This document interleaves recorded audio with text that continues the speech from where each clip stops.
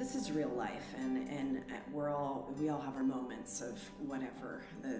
It's hard. It's hard to be a human on this planet right now. And there are many people who are kind of burying their head in the sand and just, you know, going for the zombie thing because it's easier.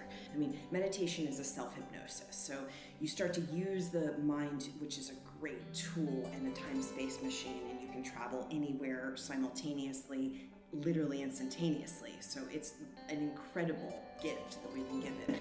People are waking up at mass, mass speed on this planet. And one thing that I will say that is my big message right now is the majority of the people on the planet want to live in a generous way. If you can become in any way an inspiration to another human being, that's a victory.